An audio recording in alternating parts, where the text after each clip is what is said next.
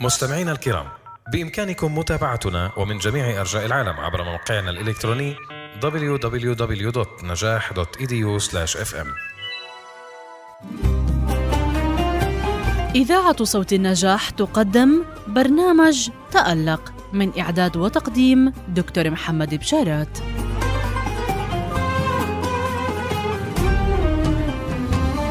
لو يشكو القلب هموما قد باتت فيه. تمحوها بسمة طفل حين نلاقي.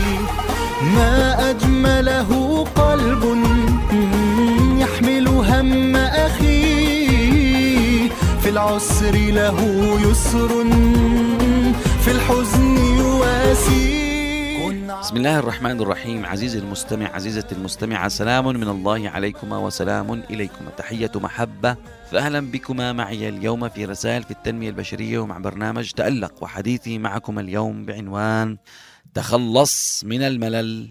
سؤال كيف الإنسان ممكن يتخلص من الملل؟ يعني قد يعني يتبادر إلى الذهن عزيزي المستمع عزيزتي المستمعة.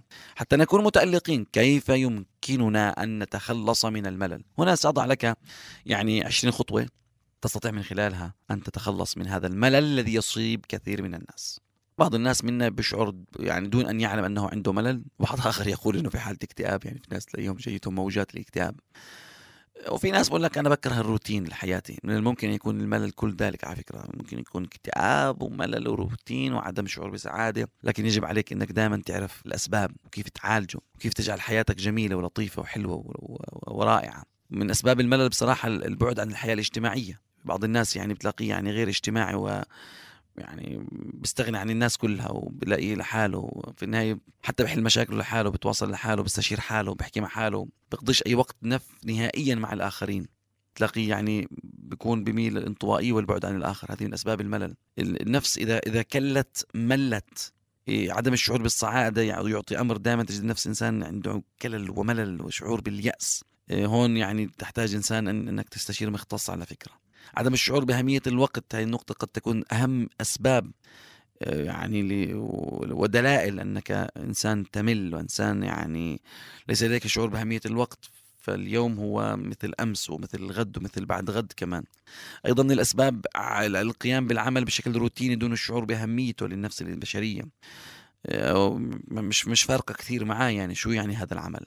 نقطة أيضا أيضا خامسة وهي من أسباب الملل الغفلة عن الطبيعة من حولنا وعدم التأمل في ملكوت الله وبالتالي عدم الشعور بعظمة الكون وجماله وعظمة النفس البشرية وروعتها والهدف من وجودنا أصلا.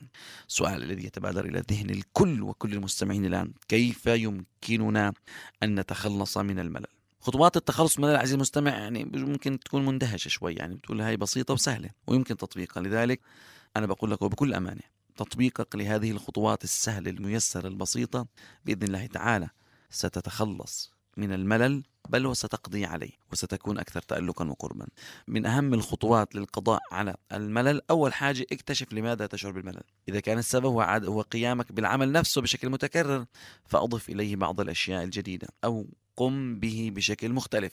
فمثلا للزوجة أو للأم أو للمربية العمل المنزلي الذي تقوم به ربة المنزل قد يكون ممتع. إذا استمتعت أثناء أدائها له آه، مثلا بعض الاستماع للأشرطة المعلوماتية أو قد تكون تسمعنا الآن وهي تعمل.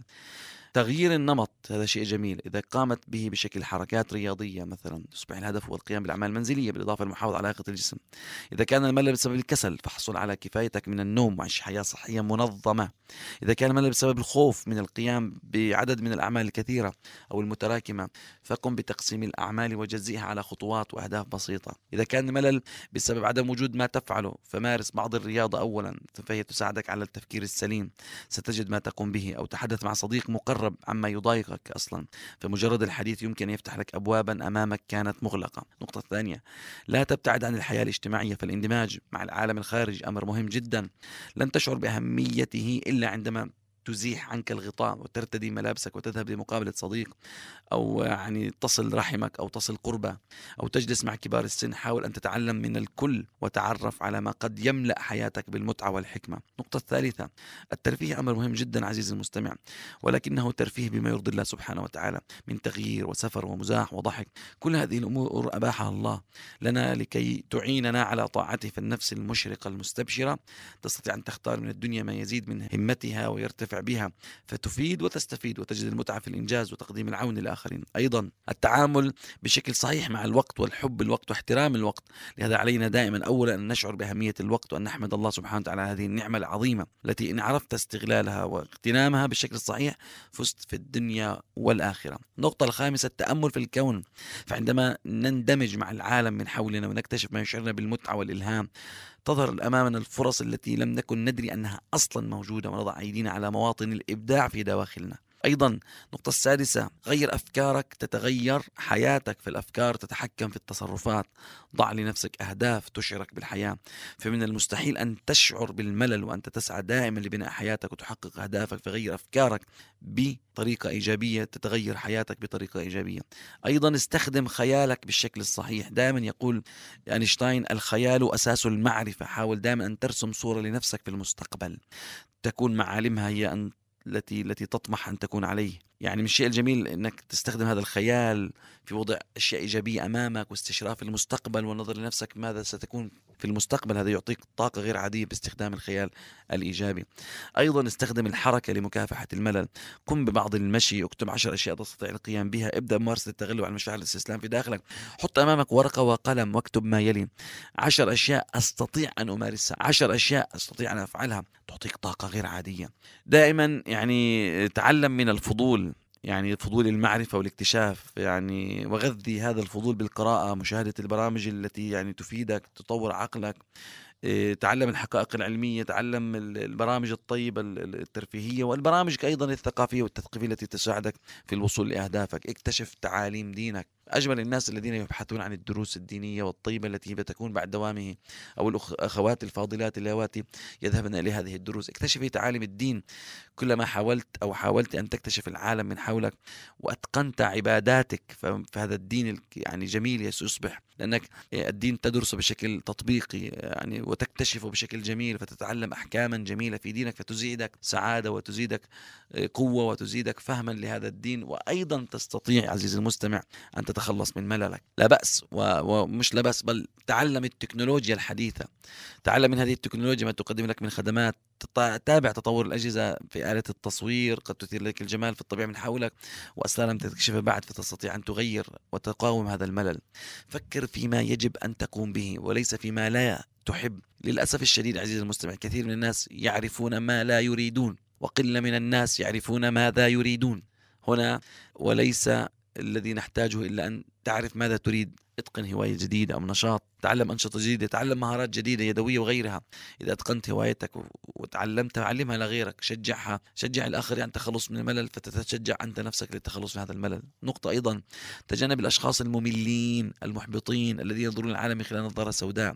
حاول أن تأخذ بأيديهم إذا كان لديك القدرة على ذلك. أما إذا كنت تحتاج إلى من يمد يده لك فلا تأخذ بيد من لا يريد من من أولئك السلبيين الذين يرتدون النظارة السوداء. مارس الرياضة الجماعية والفردية واشعر بالفخر بإنجازاتك ابحث عن وظيفة ثانية مؤقتة تزيد دخلك. استفيد من هذا الدخل الإضافي لدراسة علم جديد ومعرفة جديدة. شراء ما يساعدك أو تعلمك. هذا لا بأس بل على العكس يعطيك طاقة إيجابية. اتصل بالأصدقاء القدامى حاول أن تلتقي بهم. اعمل اجتماعات دورية أو أسبوعية أو شهرية. لا تلجأ إلى الأكل هربا من الملل. بل اذهب إلى الصحة وإلى الخضروات والفواكه التي تعطيك طاقة. تذكر دائما أن الملل مسألة. نحن الذين نزرعها في عقولنا ونحن أيضا الذين نتخلص منها. لا تحاول أن تتخلص من الملل بمشكلة أكبر منه.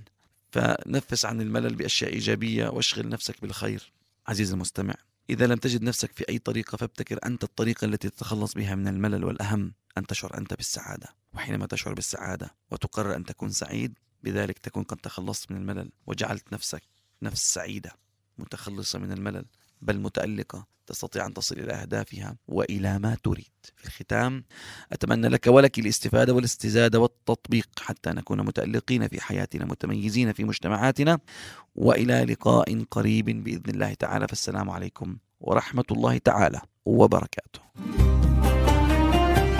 استمعتم لبرنامج تألق. أعده وقدمه لكم دكتور محمد بشارات.